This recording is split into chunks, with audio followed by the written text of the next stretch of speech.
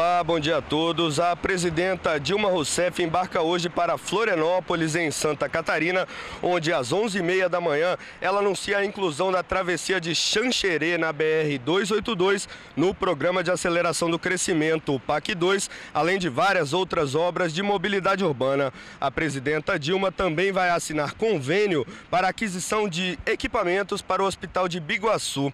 À 1h15 da tarde, a presidenta Dilma Rousseff participa da cerimônia de formação formatura de 800 alunos do Programa Nacional de Acesso ao Ensino Técnico e Emprego, o Pronatec. E às três da tarde, a presidenta Dilma embarca para Porto Alegre, no Rio Grande do Sul, onde vai cumprir a agenda neste sábado. João Pedro Neto, direto do Planalto.